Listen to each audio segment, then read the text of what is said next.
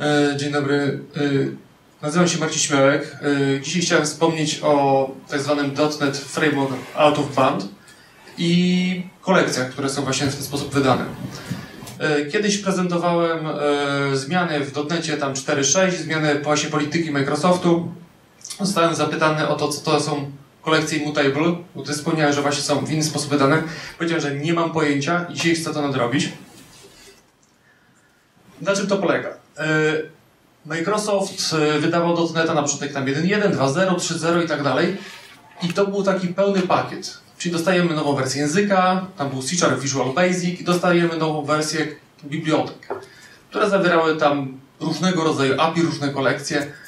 E, I oficjalnie rzecz biorąc, oni chcieli rzekomo dodać właśnie jakimś bocznym kanałem troszeczkę więcej kolekcji, które się nie zmieściły w tym dotnecie. Natomiast jeśli byśmy sobie posłuchali troszeczkę wywiadów na Channel 9, to wyjdzie nam troszeczkę inny obraz tej sprawy. Mianowicie, o, Państwo ogłaszają, że no dobra, mamy testową wersję dotneta, jakiegoś tam, i w tym momencie mają mniej więcej 48 godzin na to, żeby zareagować na feedback. I tyle. I po tym czasie, najwyżej jak znajdzie ktoś jakiś krytyczny błąd, to go może poprawią. I to wszystko. No i oni byli zmęczeni tym, że muszą w ten sposób brzydko wydawać. Więc pomyśleli, że część dotneta wydadzą takiego najważniejszego e, jako, jako dotnet, a resztę nazwali to właśnie, że to będą tak zwane out of band releases i e, wydadzą na nugecie. E, I pomysł był później taki, że będą właśnie częste aktualizacje, nie będą musieli się przywiązywać do tego, żeby e, te releasy wyglądały identycznie w środku. Bo w razie czego, jak ktoś będzie miał problem ze zgodnością w nowej wersji, to sobie wróci do starej i się nic złego nie stanie. E, chcieli też ograniczyć wymagania do zainstalowanej wersji .NET, bo zdarza się tak, że ktoś z jakiegoś powodu nie mógł zainstalować nowego .NETA, bo albo polityka firmy, albo niektórzy z Was pewnie to przerabiali na serwerze jest Exchange. I w tym momencie nie wolno aktualizować do jak jest Exchange, bo przestaje działać. No i pomyśleli, że oficjalnym kanałem właśnie będzie ten Nuget i, i w tym momencie chcieli zachęcić właśnie ludzi, żeby zaczęli z niego korzystać więcej i dając taki właśnie mały przykład.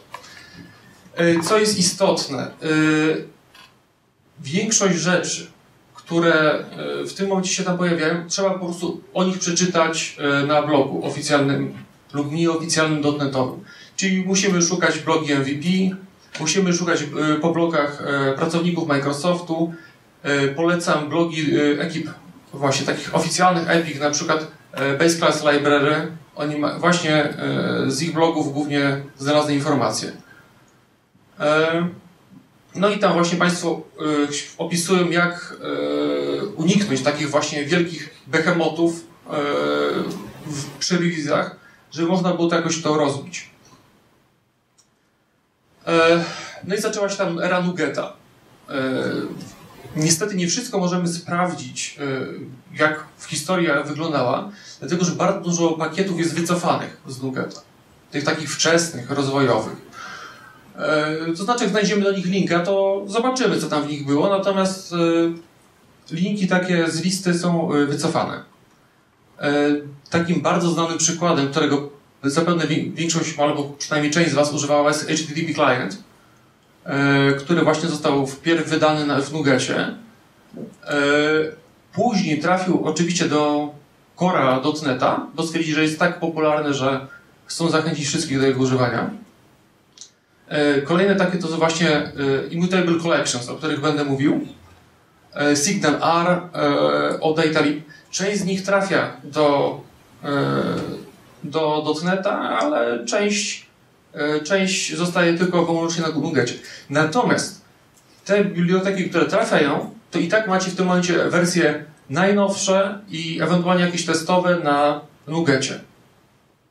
Poza tym na horyzoncie mamy .NET Core i tak zwany .NET Standard, czyli y, polityka Microsoftu taka, że chcemy wydać jakby rdzeń .NETA, ewentualnie pomysł na .NETA, czyli tak zwany Standard, a już y, cała otoczka, biblioteki, wersje konkretnych API będą dogrywane bokiem, no i będziemy musieli się po prostu do tego do, y, Nugeta przyzwyczaić, jeśli jeszcze mamy takie zaszłości z czasów .NETA 1.1, 2.0. E,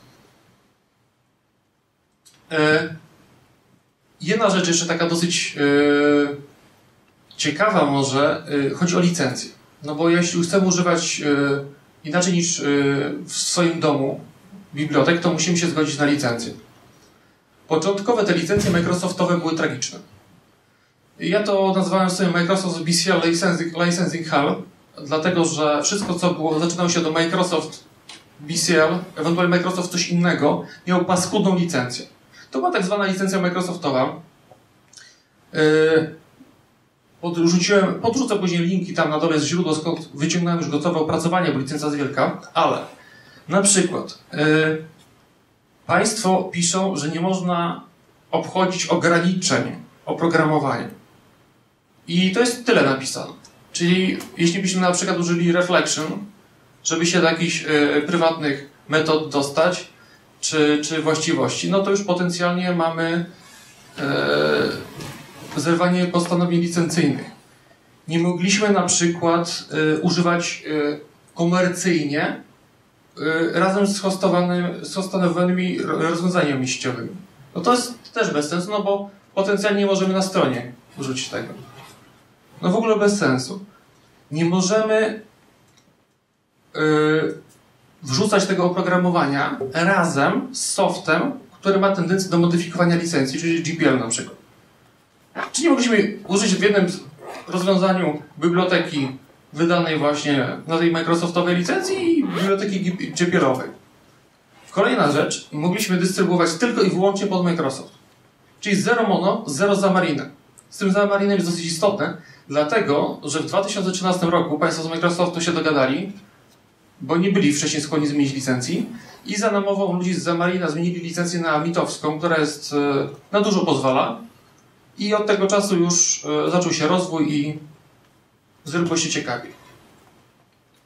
E, dzisiaj chciałem właśnie powiedzieć o takiej przestrzeni system Collections Immutable, gdzie mamy immutable array, dictionary, hash set, list, QE, sorted dictionary, sorted set i stack. E, właśnie one zostały wydane e, na Nugecie i do dzisiaj nie są włączone w korowego dotneta. Deweloperzy to tłumaczą w ten sposób, że daje im to dowolność, żeby zmieniać bebechy, jak to działa w środku i jednocześnie nie muszą podejmować w tym momencie żadnej odpowiedzialności e, w związku z tym, że komuś coś przestanie działać. Bo ludzie będą mogli właśnie wrócić do starej wersji. I w ogóle po co sobie zawracać głowę tymi wszystkimi immutable? No bo co nam to daje? E, padło pytanie wcześniej, no bo przecież mamy read-only collection, to czym się różni read-only collection od, e, od immutabli? Read-only collection to jest tylko interfejs. Więc ktoś może sobie równie dobrze zobaczyć, aha, dobra, no to pod spodem mamy typ listę, sobie skastujemy read-only collection do listy i pozmieniamy. No i niekoniecznie jest to rozwiązanie, które chcemy promować. Y, chcemy mieć pewność, że ktoś nie zmieni nam tej kolekcji, że jak już ją stworzymy, to ona już tak zostanie i, nie będzie zmieniać. Oczywiście możemy w Immutable Collection wszystkie te, które pokazałem Wam, e, wrzucać yy, obiekty mutable. Nikt nam tego nie zabroni, natomiast chcemy mieć pewność, że sama kolekcja się nie zmieni. Ewentualnie, jak nam bardzo zależy, żeby była niezmienność, to już obiekty pojedyncze możemy opakować, żeby bez refleksji się nie dało do tego dostać.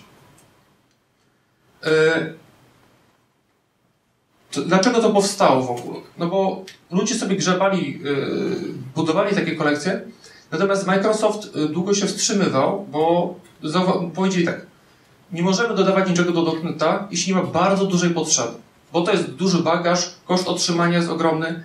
Musimy, jak jest coś super przydatne, to wtedy to wrzucamy. Jeśli nie, to nie.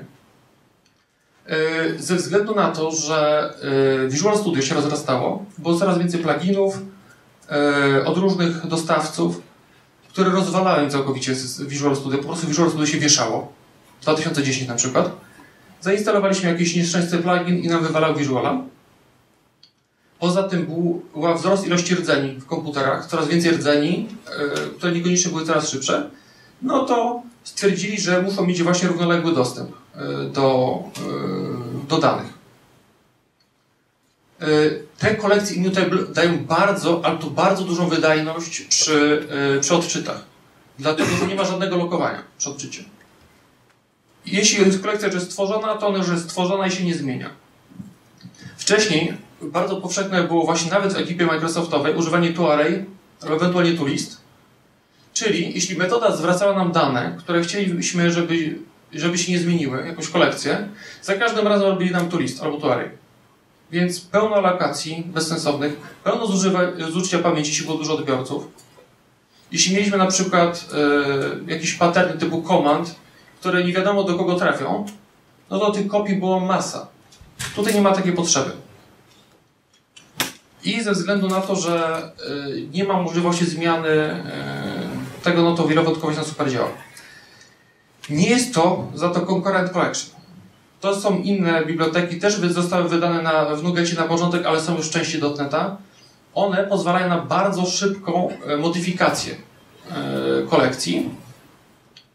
E, jak mamy na przykład mocno współwybieżne jakieś listy, do których się odwołujemy z, z dużej ilości miejsc, szybkie hashcety, na przykład yy, nie piszcie w ogóle naprawdę. Jak nie ma potrzeby, nie piszcie swoich kolekcji yy, współbieżnych. Te z, z Concurrent Collection są naprawdę super.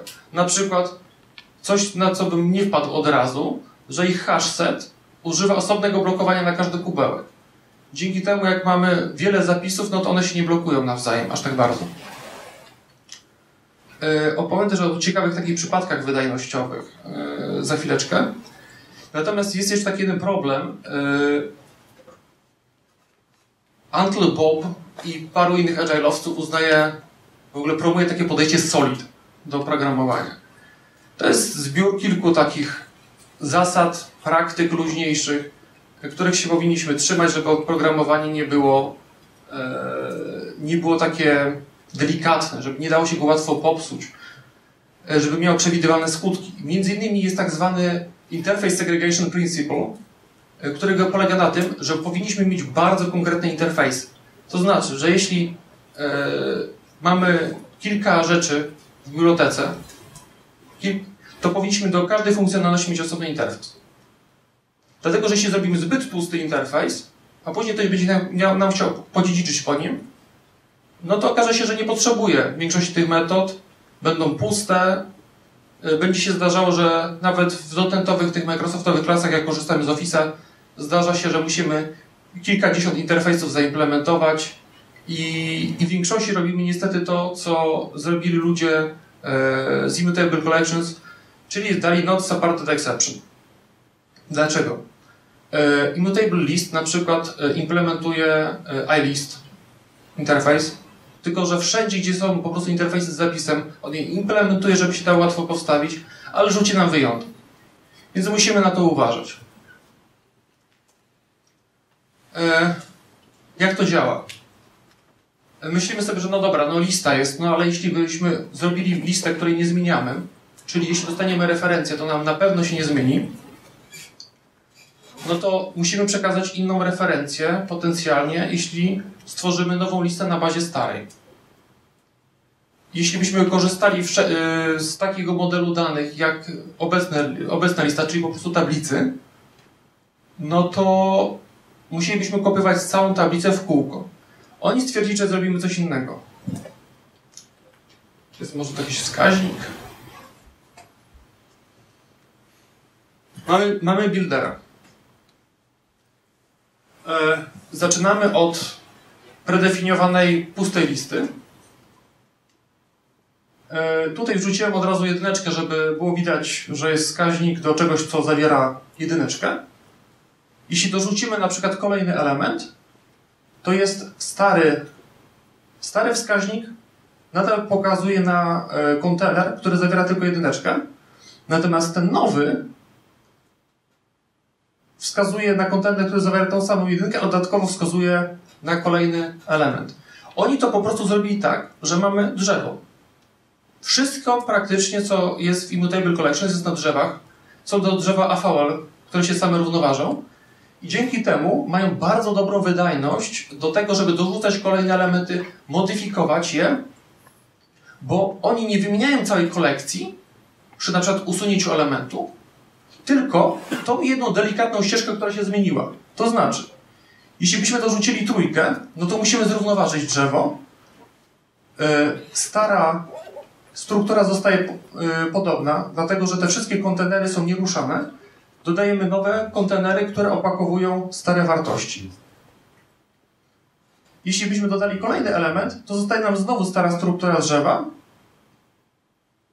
tylko nowe kontenery dostają dołączone. Tutaj zaznaczyłem po prostu dużymi kwadracikami obiekty, które są przepakowywane kolejny raz. Więc w tym momencie na przykład połączenie między dwoma pierwszy, dodanymi na początku elementami się w ogóle nie zmieni. Później zademonstruję, jak to działa wydajnościowo. A to może visual jakiś.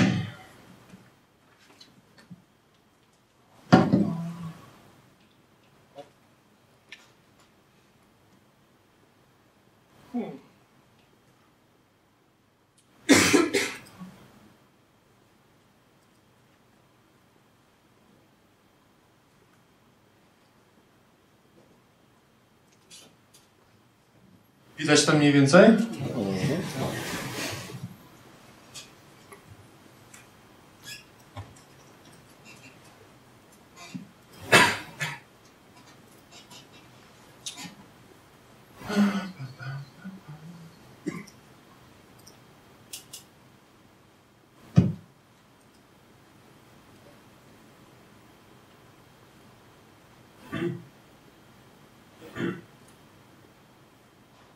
Jeszcze jedna taka uwaga, którą chciałem zademonstrować tutaj.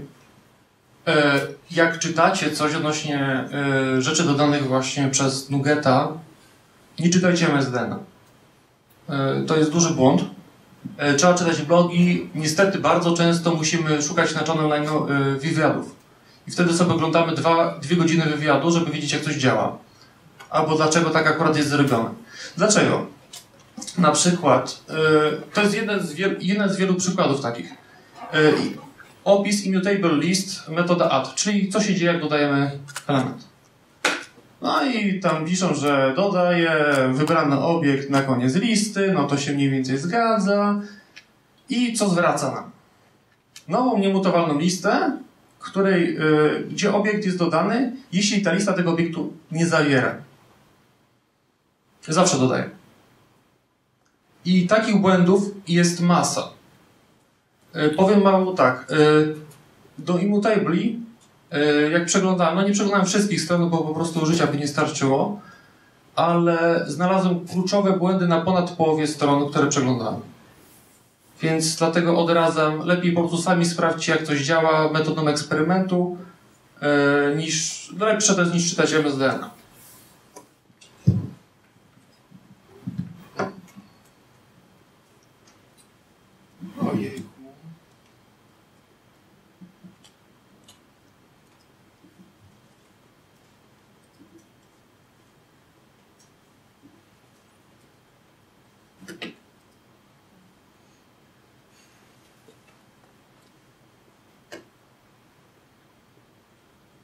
Przygotowałem kilka takich metod testowych. E, testujemy, będziemy testować dodawanie intów, dodawanie e, klas do listy, żeby pokazać przy struktach i klasach jak się zachowuje. Test wydajnościowy, porównanie kolekcji mutowalnych z niemutowalnymi. I test linkowania. To właśnie wyjdzie właśnie taka ciekawa, ciekawa właściwość. Pierwszy test jest bardzo prosty. Robimy e, niemutowalną kolekcję, do której rzucamy trzy elementy. Dodajemy kolejną trójeczkę na koniec. E, no i zgodnie z MSDN powinno nam się wyświetlić raz, dwa, trzy. E, druga metoda testowa robi dosłownie to samo. Z taką różnicą, że to są klasy, które mają tu stringa znowu z intem. Jeśli to odpalimy, no to pierwsze... Ojej, nie żebyście nie musieli wierzyć na słowo.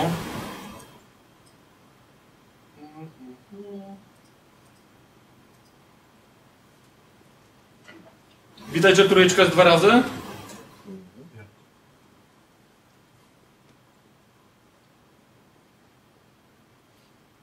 E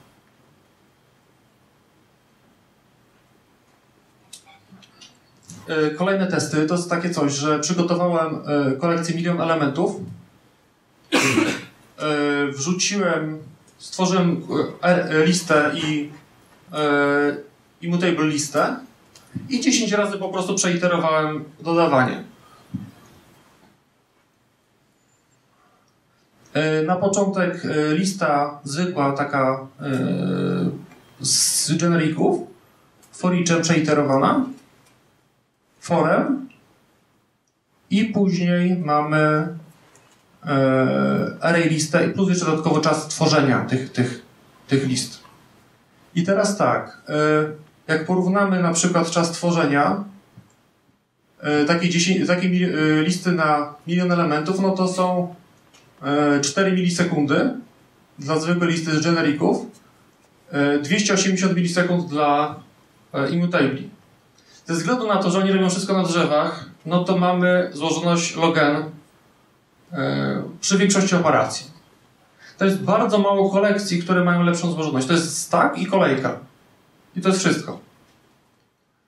E, iterowanie for eachem na, na moim laptopu.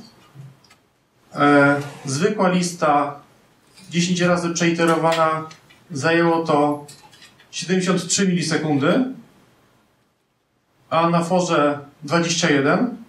Natomiast to samo, i to jest dziwna rzecz, na, fo, na forze to były 2,3 sekundy, a na foriczu 0,8.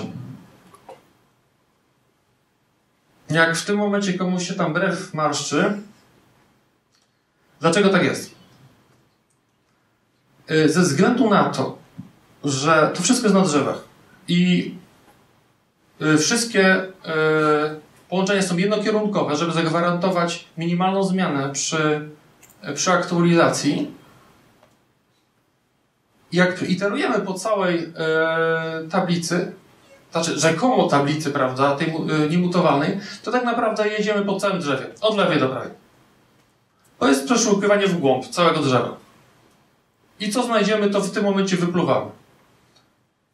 E, Efektywnie, jeśli robimy fora, to za każdym razem, jak podajemy indeks, on musi znaleźć trzeci na przykład node w drzewie. E, Ze względu na to, że to jest drzewo AVL i zapamiętuje głębokości podrzew, nie jest to takie złe. No ale mimo wszystko wydajnościowo jest to słabe. Dlaczego for each jest dlatego taki szybki? On robi dziwne rzeczy pod spodem. Mianowicie ym, trzyma pulę yy, iteratorów. Czyli jeśli stworzymy iterator, to on sobie zapamiętuje mniej więcej, gdzie on został osadzony. Jeśli przechodzimy do kolejnego elementu, to już nie musi lecieć po całym, yy, po całym tym, no, yy, po całej tej gałęzi, żeby dojść do, do liścia, tylko on ma już zapamiętaną tą ścieżkę, gdzieś odłożoną na boku. My nie musimy się tym przejmować. Ważne jest, że w miarę szybko działa. Yy, widać to też przy złożoności, dlatego że jeśli łącznie wszystkich iteracji jest tyle samo, ale po prostu robimy 100 tysięcy razy, przejeżdżamy po e, liście, która ma 100 elementów, no to wiadomo, no czas tworzenia jest niższy, ale for each na liście dotnetowej tej z generików no mniej więcej taką samą ma wydajność. For ma mniej więcej też taką samą wydajność, natomiast zobaczymy dużo lepszą wydajność na, e, na naszych listach e, immutowalnych, ze względu na to, że drzewo jest dużo płytsze. Więc y, od razu to jest taki znaczek, że jeśli mamy bardzo dużo elementów i bardzo dużo iterujemy po nich wszystkich, to niekoniecznie te listy będą bardzo szybkie. Z drugiej strony, jak często potrzebujemy zrobić y, jednorazowo 10 milionów iteracji po elementach?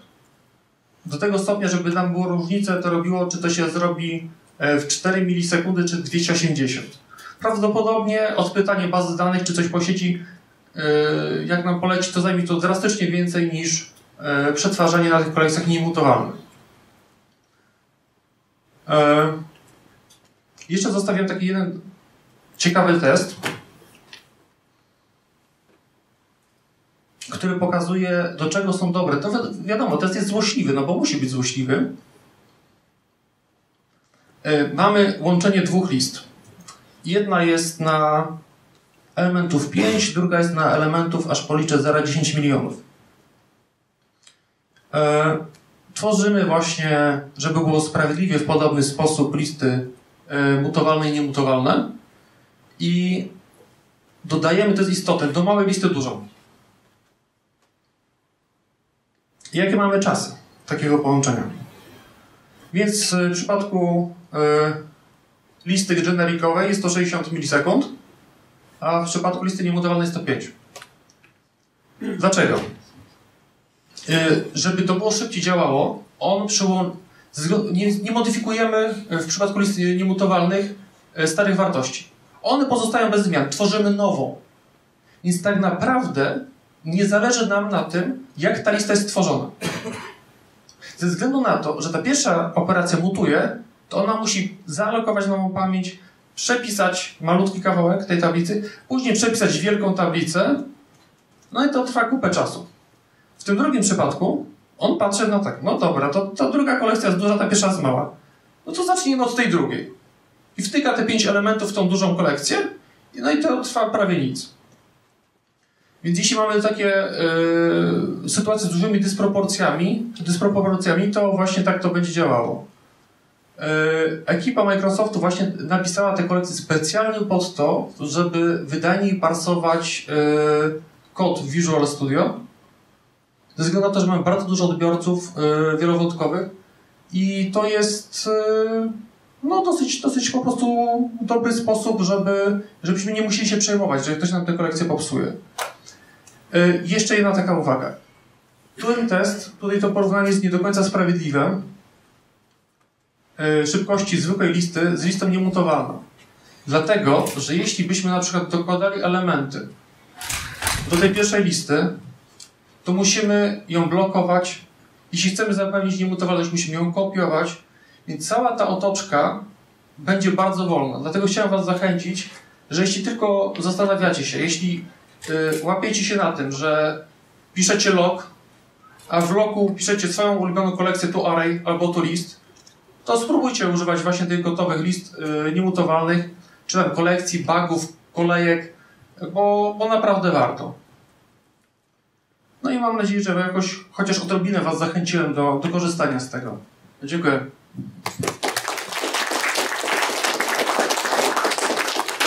Okej, czy są jakieś pytania?